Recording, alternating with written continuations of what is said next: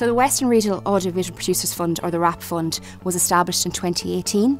and it is a collective initiative of the Galway Film Centre and the Western Development Commission working with the local authorities from Clare to Donegal and Údarás na Gaeltachta. And we provide targeted investment to incentivise production in the west of Ireland to the film, television, animation and games sector. I think the figures speak for themselves in the context of the WRAP Fund. You've seen an additional spend over and above what we've invested in a number of, up to six projects so far. Just under 10 million has been uh, created for the region and I think that's a very tangible output from our point of view as a public sector agency. Is one of a number of very important pillars that are tremendous support for the industry in the west of Ireland.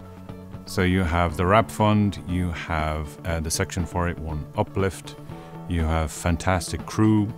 you have incredible locations, and we have ever improving infrastructure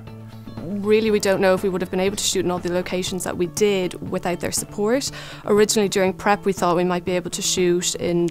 around Galway City and have crew based there but as we went on more recce's and saw all these incredible locations further out we knew that the budget was going to increase and we needed some further help so that's when the WRAP Fund stepped in and as well as the funding it was also great to have the WRAP Fund as a resource for us and someone to be at the end of the phone when we had any queries about shooting in the west of the country. So that's why the WRAP Fund is something that we're very, very excited about. It brings to people's screens, it brings to reality all the work that's that's uh, in the region, all the skills that are in the region, and it allows people to put their best foot forward, and it builds the profile of the region internationally.